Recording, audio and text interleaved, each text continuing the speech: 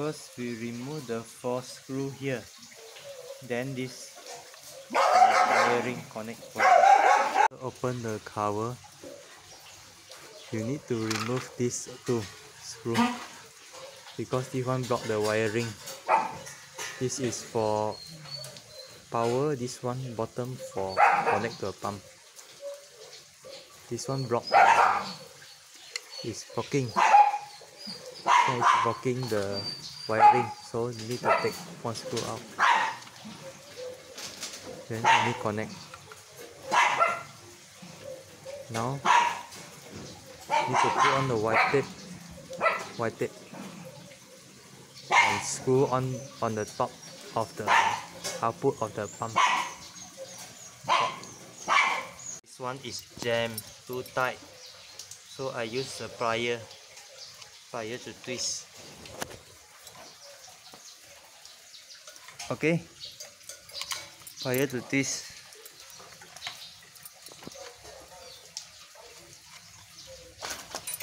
Okay. Use the plier to twist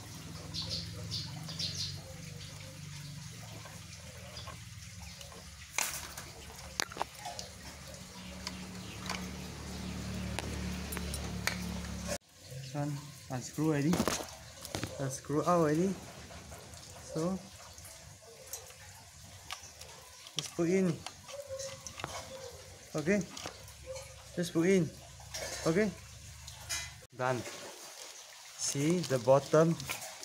This is from pump uh, pump. Okay connect. Pump link.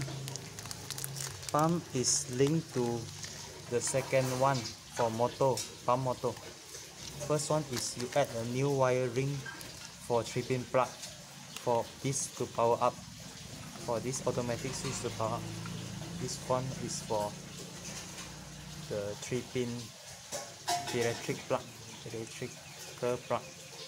Bottom is connect to the water pump motor. Okay? How is it work live neutral earth earth neutral live for bottom. Okay the the earth and brown is opposite. Middle is neutral. Okay that's the difference. This one electrical pump motor water pump motor at the bottom. Connect okay it's done. Done. It's always on standby mode.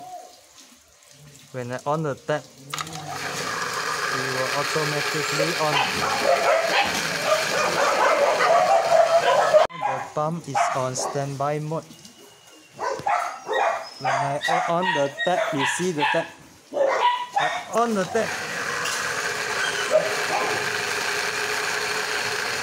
close the tap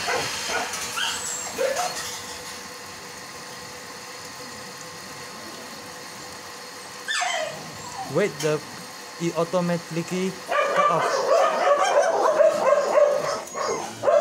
Ah cut off already. It's working